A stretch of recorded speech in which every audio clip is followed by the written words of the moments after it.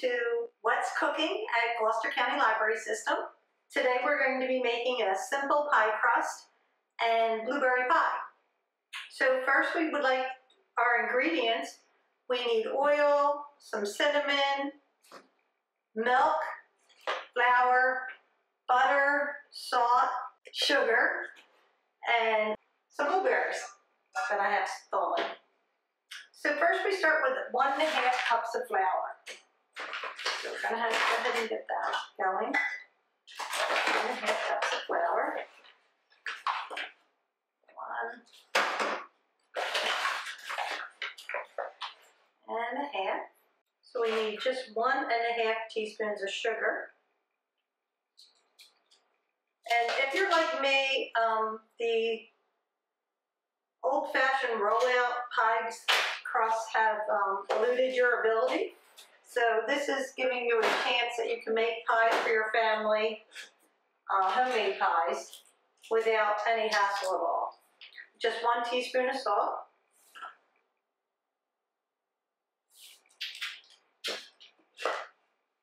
Uh, half a cup of oil. I did go ahead and pour that.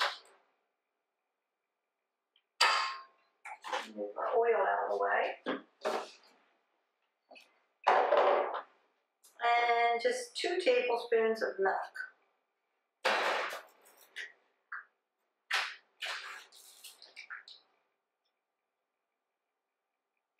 One, two. Just going to go ahead and stir that up. See if we can do that with our spatula here. Yep, and it's already starting to look like something. Looking like a nice crust already. And so this is called a press crust. So the reason we call it a press crust, is because we're going to press that into our pie plate. So you don't have to do anything special. You have our pie plate. We're going to go ahead and dump our crust right in there. And then we're just going to go ahead and press it in. So we're going to press the bottom, kind to fan it out so that way we have a little bit everywhere. I know I, I like that crust on the sides. Let's try to get that up there on the sides. Just pressing it with my fingers. Even distribution, pressing down at the bottom. I know sometimes they make the edges kind of pretty. So if we can get a little extra at the top, we could try to make it at least even. Because what we're going to do is it's going to be a crumb topping, so we don't really have to worry about the edges. Okay, great. I think our bottom piece of our crust is ready. So let's just put that to the side.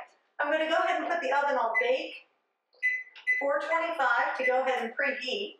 And let's work on the blueberry filling. And let's use this bowl.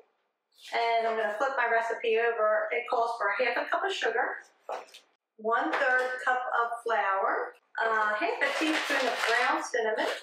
And now we mix those ingredients together. And now we, we're going to stir in the blueberries and then sprinkle with a little lemon. So I have four cups of frozen blueberries that have been thawed a little bit. So I'm going to go ahead and dump them right in here. So how I thawed them, I, I took my blueberries out and I just put them in a strainer and I um, ran some water through it and then just did it that way. Okay, we're just mixing the blueberries right in there, kind of coating each. We want all the blueberries to be covered with this um, mixture. So let's go ahead, pop that right into our pie. See how quick this is? We're going to go ahead and pop it right into our pie. Scrape the bowl a little bit, get all those juices. And it calls for a tablespoon of lemon. You can just squeeze a little lemon over top. And now we're going to go ahead and put that to the side. Let's mix the top layer of our crumb um, pie. So we need one cup of flour. We'll go ahead and use this bowl again, it doesn't matter, we're still making pie crust. So one cup of flour. And my recipe calls for a cup of sugar and a cup of butter, but I did cut that recipe and it's turned out delicious. So we're just gonna use a half a cup of sugar, which should be plenty for a crumb topping. And as you see, I have a half a cup of butter, but what I did is I went ahead and microwaved it for about 40 seconds to make it liquid. So I'm gonna just dump that right in there. Grab my spatula, and then we're going to mix that together. And this should be a nice um, crumb topping.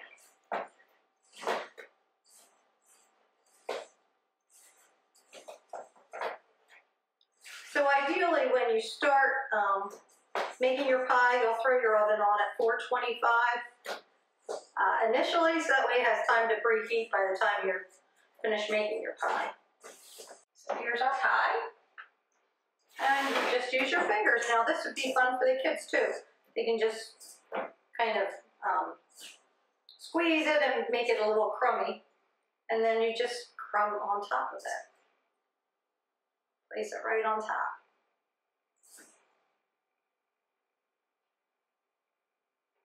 See, it really doesn't matter that you got the edges don't have to be scalloped of your pie because you have this beautiful crumb going all the way to the edges. Okay, we're going to go ahead and pop that in the oven for 35 to 45 minutes, looking for the top to be brown. Hi, welcome back. It's time to take the pie out of the oven. So I, I heard it go off at 35 minutes and it is really ready to come out. It's nice and brown at the top. And let me see, I can maybe cut a piece and show you what it'll look like.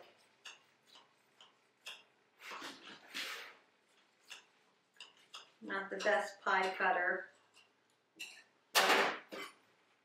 Really doesn't matter the look so much as what it's going to taste like. So there we go. Enjoy. Bon appetit. Thank you.